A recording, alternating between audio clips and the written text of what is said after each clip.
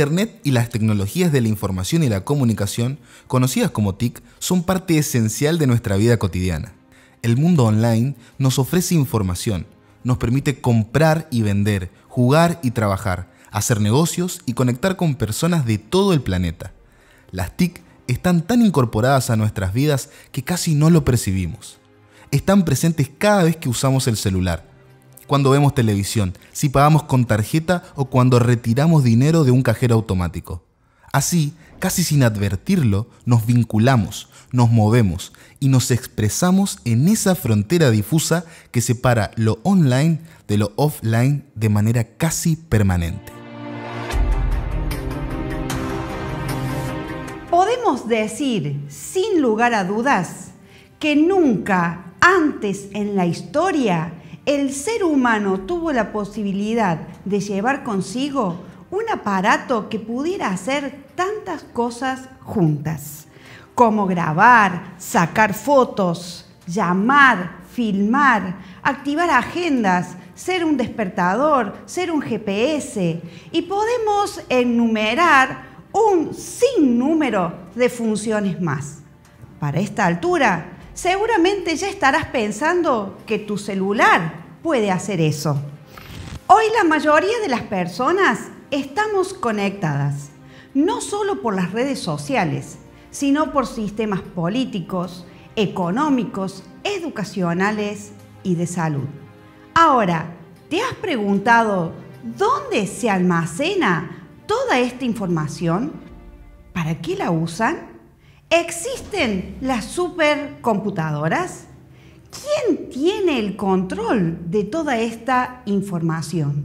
De eso se trata el capítulo de hoy. Esto es, todo está escrito y es una mirada a las noticias desde las escrituras para que analicemos los tiempos actuales bajo la lupa de las profecías bíblicas.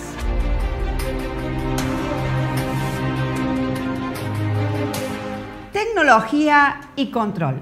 En el capítulo de hoy analizaremos las tecnologías y el control bajo la lupa de las escrituras.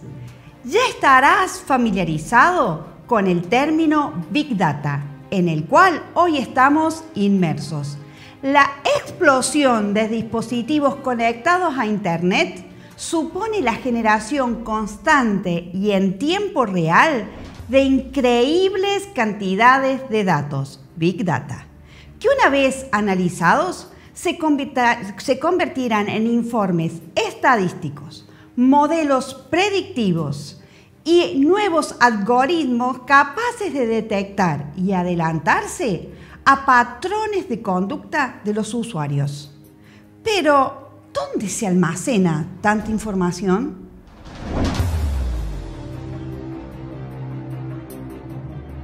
Hoy día, casi toda la información que circula por Internet está almacenada en centros de datos que contienen muchos servidores con discos duros de gran capacidad.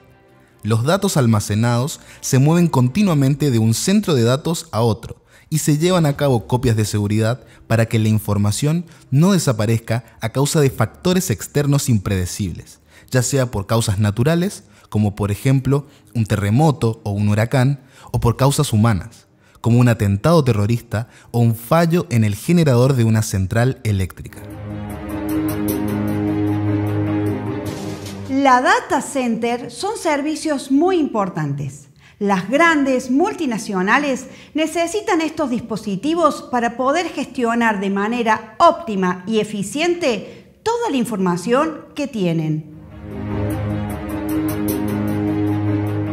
Facebook, por ejemplo, mueve 2.500 millones de contenidos nuevos cada minuto. Por esta razón, esta red social cuenta con varios centros de procesamiento de datos en todo el mundo, siendo el más importante el situado en Prineville, Oregon. Google, empresa tecnológica que ha transformado nuestras vidas a lo largo de los últimos 18 años, es de las primeras compañías de servicios online que no solo construyó sus propios CPD en diferentes continentes, sino que se encargó de diseñarlos, planificarlos y crearlos.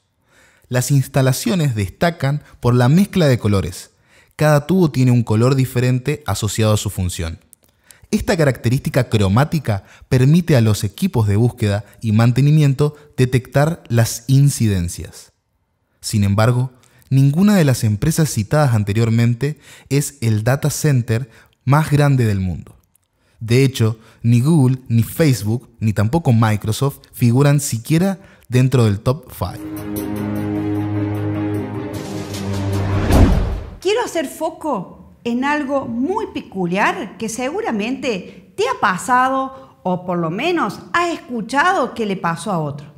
De repente estás hablando con tu amigo de algo que te gusta y tenés el celular cerca y resulta que Google comienza a mostrarte publicidad sobre lo que estuviste hablando. ¿Cómo ocurrió esto? Muy sencillo. Google te escucha. Ok, Google.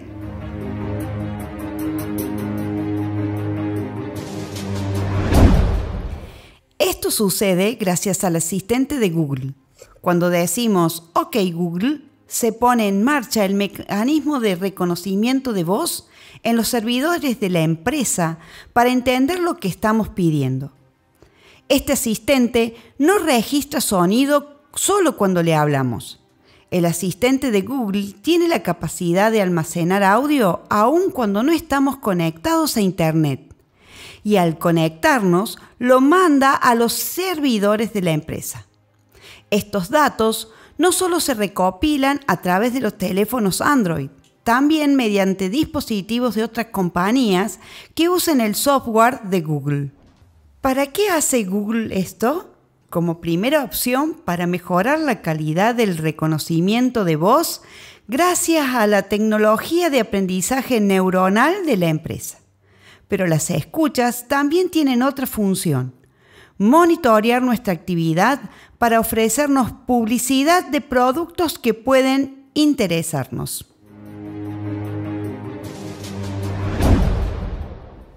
Si bien toda esta tecnología está diseñada para agilizar y maximizar el tiempo de búsqueda según nuestros intereses, tiene un costo y es la pérdida de la privacidad. ¿Y qué decir de Facebook?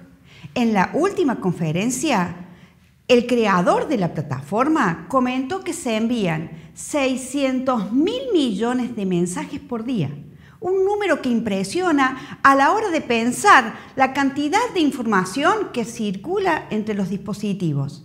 Y el número de conectados a esta red social ha aumentado debido a la pandemia.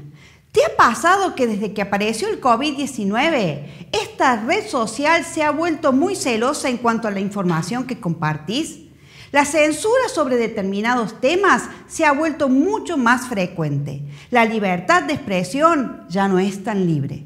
La pandemia como respuesta a todo. Y el miedo como excusa y escenario de herramienta de control. Otra vez, el uso de la tecnología y la conectividad con otros tiene un costo. Y es la pérdida de la libertad resumiendo todo a un clic en acepto términos y condiciones. ¿En qué grado las tecnologías digitales influyen en nuestra vida?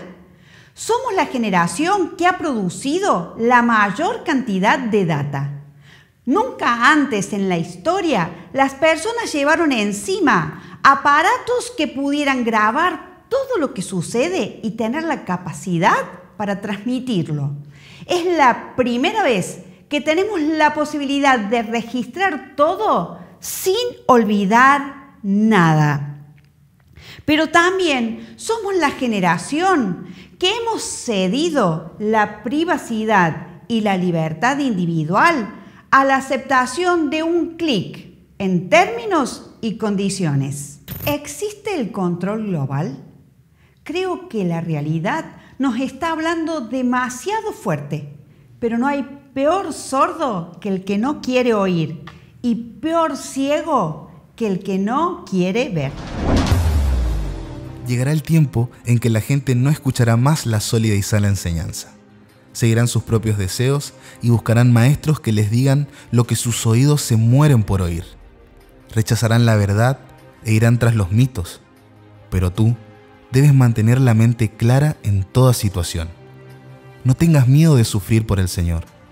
Ocúpate en decirles a otros la buena noticia y lleva a cabo todo el ministerio que Dios te dio. Dado que has obedecido mi mandato de perseverar, yo te protegeré del gran tiempo de prueba que vendrá sobre el mundo entero, para probar a los que pertenecen a este mundo. Déjame decirte que hay esperanza para los hijos de Dios. Podemos mantener una mente clara porque hemos sido advertidos por Dios sobre este tiempo. Muchos no querrán oír la verdad, irán tras los propios mitos y enseñanza. Pero vos y yo necesitamos predicar la buena noticia de salvación hasta el final. Y fiel es quien nos prometió protegernos del gran tiempo de prueba que vendrá sobre el mundo entero.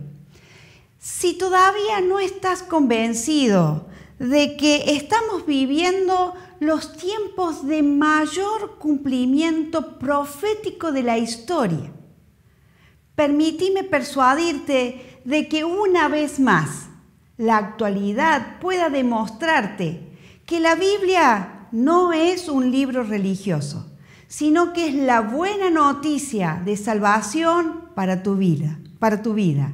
Léela y créela. Esto es Todo está escrito. Seguiremos hablando de cómo las tecnologías forman una red muy oportuna para un control total. Estás invitado a que sigamos analizando juntos los acontecimientos actuales bajo la lupa de las profecías bíblicas. Si te gustó este capítulo, dale like, compartirlo con otros y escribí aquí en los comentarios los temas que te interesarían conocer para que podamos desarrollarlo en este espacio. Te espero en la próxima edición de Todo está escrito.